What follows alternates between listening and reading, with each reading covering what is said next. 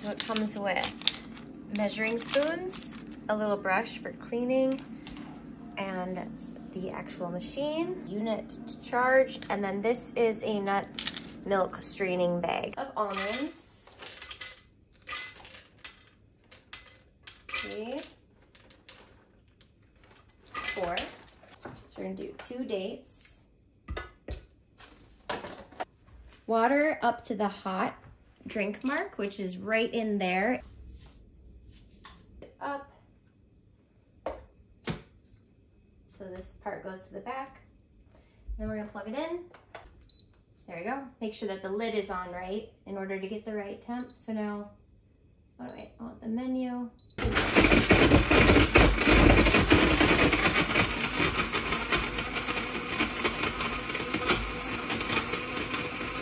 I will say this is quieter compared to the other nut milk one that I have. So this is quieter.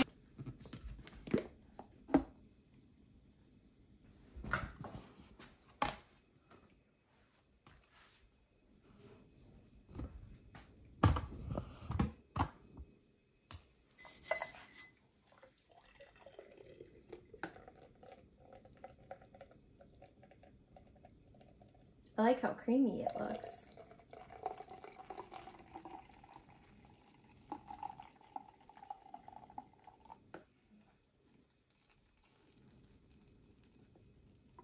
And now what I like to say is the true test is the taste test.